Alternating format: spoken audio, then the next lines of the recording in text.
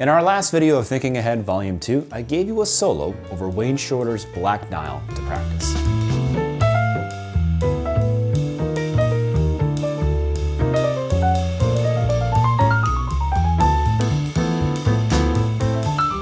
So today we're gonna go over the techniques that we implement throughout the solo. And I'll give you a couple of exercises to work on. Please make sure to watch the previous videos in the series. And remember, Thinking Ahead Volume 1 is available on mDecks.com. So the solo starts on measure 33.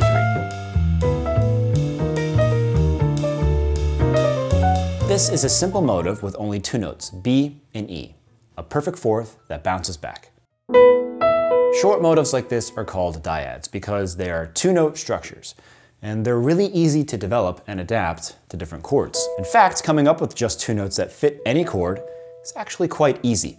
And if you know chord tones and tensions for your chords, it's almost impossible to play wrong notes. Look at all the chord tones from D minor 6, D, F, A, and B.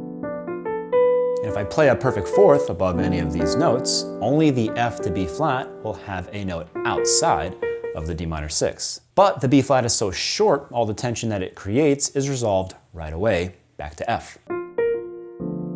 So the top note in the motive is not as important as the bottom note. And there are a few ways that you can approach developing this motive. For example, you can think of an interval shift. Let's say I decide to move the motive by a half step down. So I would play B, E, B, B, E flat, B flat, A, D, A.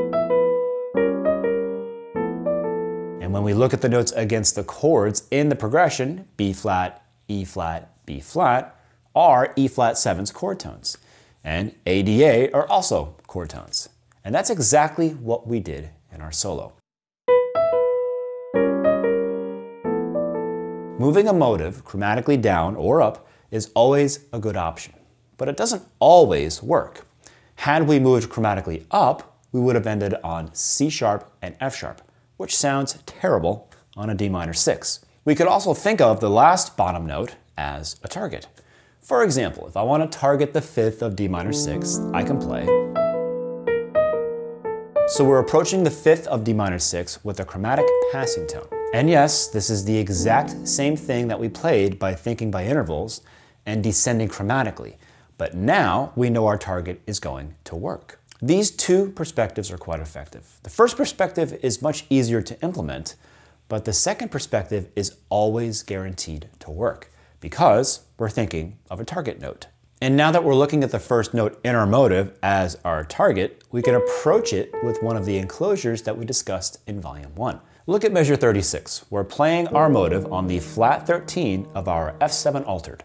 And we're approaching it with an AAB enclosure, two from above and one from below. Remember, I'm just thinking this, but I'm adding an enclosure before it. And now that we've practiced all those enclosures in volume one, we don't even have to think about them. They're part of our vocabulary. That's why it's so important to practice these concepts every day. They allow us to think less and less about each individual note and more about concepts. And when we play measures 33 to 36 in real time, the only thing that we need to think about is that perfect fourth motive. And then we use the different concepts to develop it across four measures. Now we could just play the motive on the same beats, like this, or add some rhythmic displacement and play this. Rhythmic displacement is very intuitive and therefore really easy to come up with.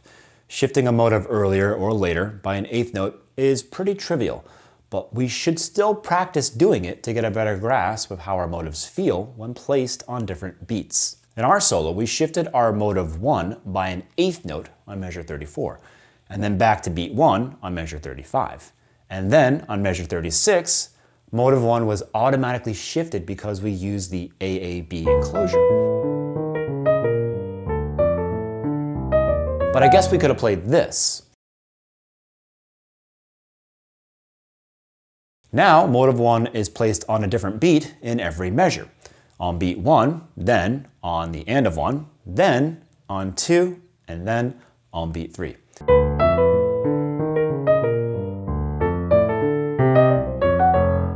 Which one is better? Well, it really doesn't matter. What's important is that we understand the concepts so we can develop our own way of using them. So your first assignment is gonna be this.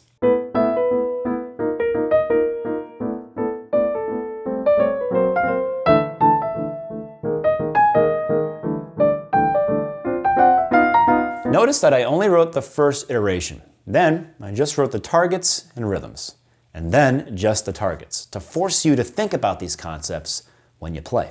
In the solo, we labeled all the motives with M1, M2, M3, and so on, and a short description of other concepts used to develop them. Next, I want to touch on the left hand voicings. In this solo, we've used quite a few quartal voicings, so let's talk a bit about them. Usually, we want to play voicings that offer the current chord's basic sound. So we try to include guide tones and maybe some tensions. So on an E flat 7, we can play this. And we get two guide tones. Or maybe this.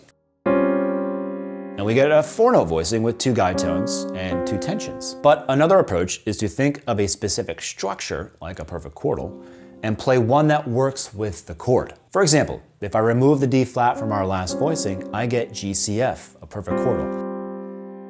I know this is going to work on the E flat 7 because I just removed the D flat, so the other three notes should still be okay. Now our voicing does not sound like an E flat 7 at all. But that's the whole point. We're now playing an ambiguous sound for the E flat 7 that actually works for the E flat 7. Look at measures 33 and 34 from our solo. On D minor 6, we're playing A, B, and E, which is nothing else than an inverted perfect quartal. And on E flat 7, we're playing B flat, E flat, and F. Also an inverted perfect quartal. Both of these voicings are ambiguous. By just listening to them, we don't know the type of chord that they're supposed to be with, which makes our motive 1 work even better. And remember, the bass is playing the roots of these chords, so we don't even need them in our voicings. Look at the voicings on measures 51 and 52. They're all perfect chords. On F minor 7, we play G, C, F, which are the ninth, the fifth, and the root. On B flat 7 altered, we play A flat, D flat, and G flat. The flat 7, the sharp 9, and the flat 13. And of course, if you want to learn more about perfect quartals, you can check out our Upper Structures Volume 2 course. As always, all of our members will receive a PDF containing an exercise that accompanies today's video. And if you're not a member yet, go ahead and click on that join button down below. We'll see you next time.